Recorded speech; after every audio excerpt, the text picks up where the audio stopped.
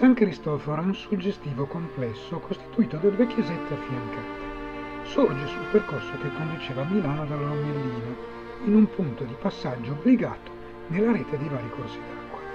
La prima chiesa, che corrisponde approssimativamente all'attuale navata sinistra, venne costruita nel 1192 e fu ampliata e rimaneggiata nel 300. La chiesa di destra, comunemente detta Cappella Ducale, è del XV secolo. Fu eretta sotto il patrocinio di Gian Galeazzo Visconti, adempiendo al vonto popolare per l'improvvisa cessazione della peste del 1399. Il campanile con cuspide a cono cestile e monofore è l'unico di questa foggia che si è conservato a Milano.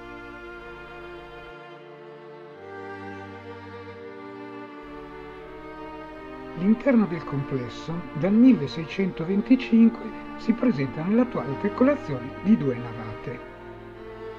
Degni di nota all'interno sono i vari affreschi, tra cui quelli dell'arcone trionfale che è stato oggetto di importanti interventi di restauro tra il 2016 e il 2017.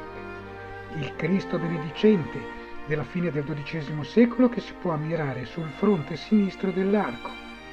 La Madonna in trono con bambino attorniata dai santi, tardo quattrocentesca.